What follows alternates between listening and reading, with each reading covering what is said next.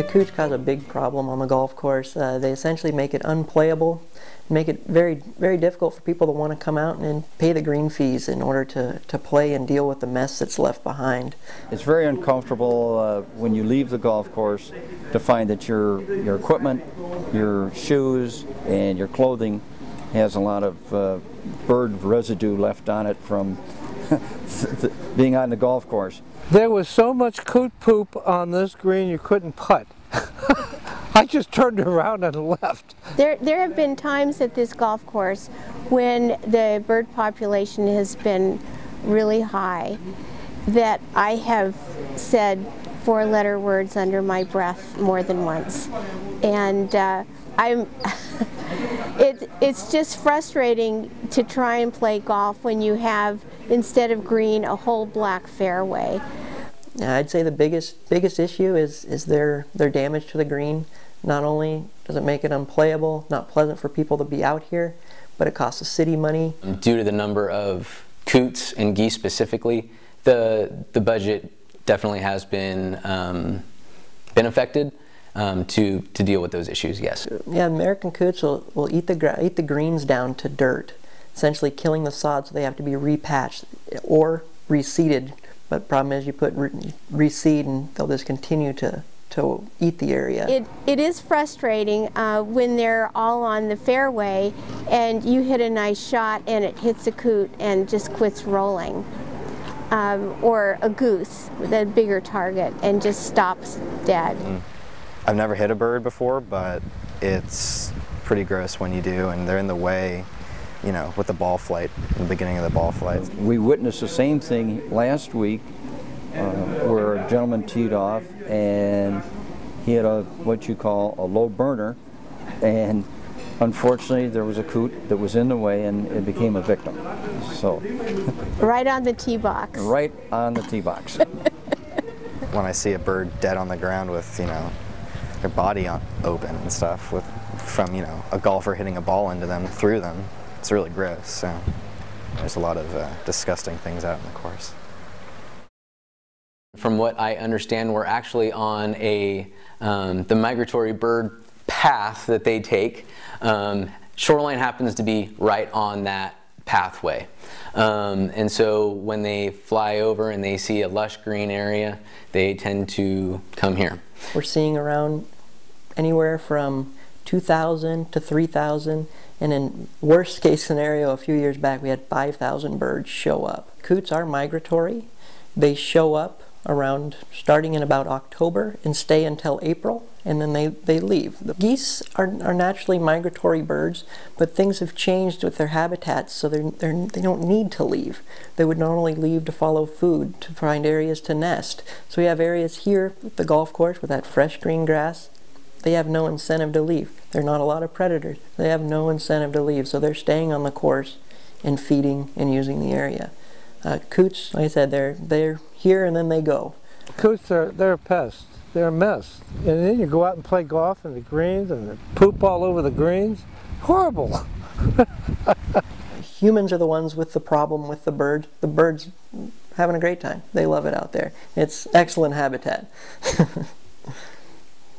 Not natural habitat, but habitat that they've adapted to living in and find it very, very good for their life.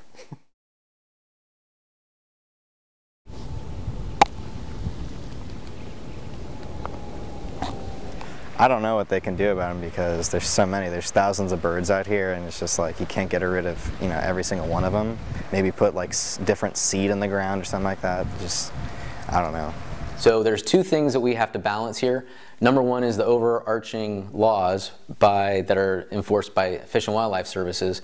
The other is the burrowing owls, which is a protected species. There's some things that we could do on the golf course that we haven't done that are legal, but because of the other ramifications it may have on a sensitive species, that we can't do it. We follow protocols set up by uh, Humane Society to try to do it as humane as possible. But of course, anytime you're doing uh, anything that's harming wildlife, you're going to have some uproar from it. But these are geese that technically shouldn't be here. They're, they're not migrating, so we need to do something to control their populations. We've tried a number of things. Um, the golf course has hired dogs to come out and chase the birds. We have actually had a dog that was um, city property. We purchased a dog to try to scare the birds away. Um, we have tried um, to spray the grass with um, different materials that would hopefully not taste good for the birds. Um, that seemed to be um, not very effective.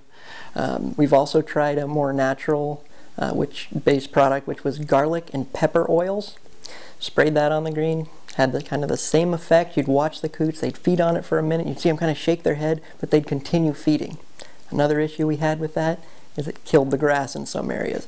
Um, we have tried fogging machines. We've tried radio-controlled boats in the um, in the ponds. Uh, I heard a story one time that purple Kool-Aid, uh, the coots wouldn't uh, didn't like purple Kool-Aid, so I don't. So I figured, okay. So I bought purple Kool-Aid, and I uh, was working at the driving range then, and we had a lake in the back. So I went around the entire lake with purple. I chased all the coots in the water, went around with the purple Kool-Aid, and they just walked right across it.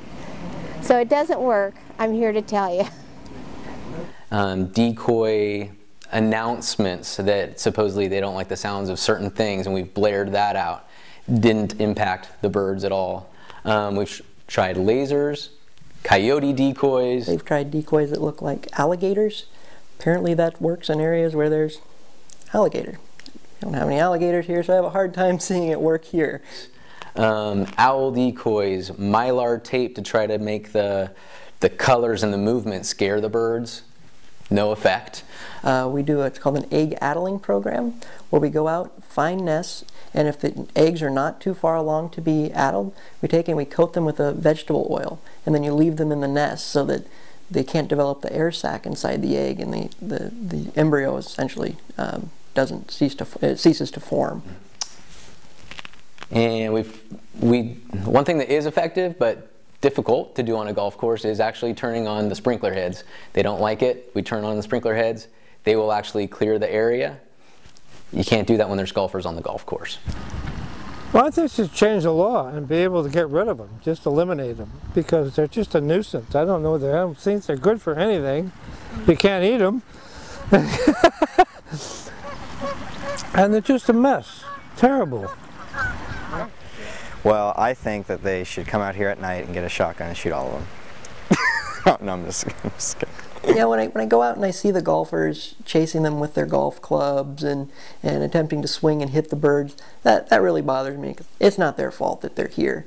I understand that they're making it an environment that you don't want to play golf on, but try not to take it out on the birds is, is where I'm at. And as of now, I think we're doing everything we can. It's, it's tough to say uh, what's going to happen in the future with the coot population. I think if we're able to bring the golf course um, into better shape, um, will rounds go up? Most likely. I think that the word will get out among the, the golfing community and they will at least come back and try it again. We had a, uh, a dad and his son today that told us that they were very pleased to see the difference in conditions last year they said they would never come back again.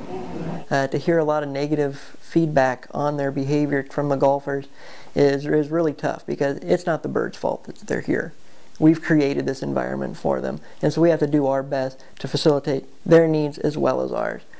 Do I like seeing them out here? Do I like seeing the mess that they make? No, but birds are doing what birds do.